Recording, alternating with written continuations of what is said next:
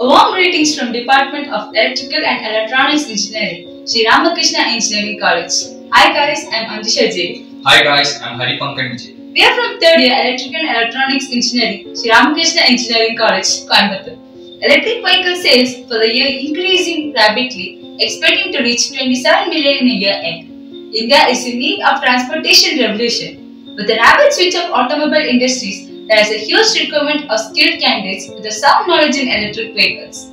By keeping all these things in mind, the Department of Electrical and Electronics Engineering, Sri Ramakrishna Engineering College, has introduced specialization in the domain of electric vehicles with a vision to make candidates aware about vehicles and its technologies. For providing the specialization, our college has signed an MOU with Mahindra and Mahindra, the world leader of automobiles. The courses of specializations have been developed and delivered by industrial experts from Mahindra and Mahindra and faculties from Sri Ramakrishna Engineering College. The students opting the specialization in electric vehicle will be provided with internship and placement opportunities from Mahindra and Mahindra. It's a wonderful opportunity for students to interact with industrial experts from the domain of electric vehicles. The time is right for learning electrical vehicle technologies. Come, let's join in Sri Ramakrishna Engineering College Electrical and Electronics Engineering and flourish in future. Thank you.